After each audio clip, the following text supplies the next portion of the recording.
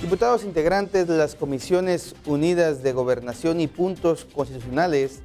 aprobaron el dictamen de procedencia de juicio político en contra de José Luis López Salgado en su calidad de titular de la Auditoría Superior de Michoacán.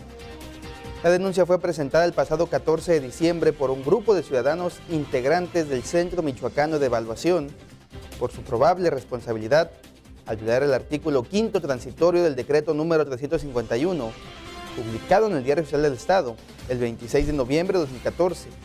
debido a que se abstuvo de entregar informe al Congreso local.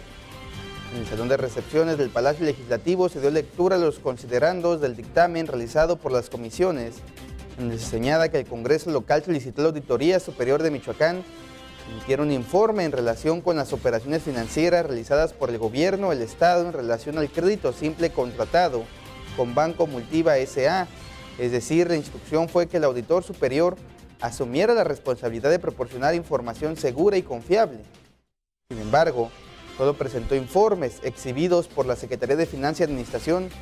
por lo que se determinó que existen conductas atribuibles al auditor superior de Michoacán que incurre en probable responsabilidad.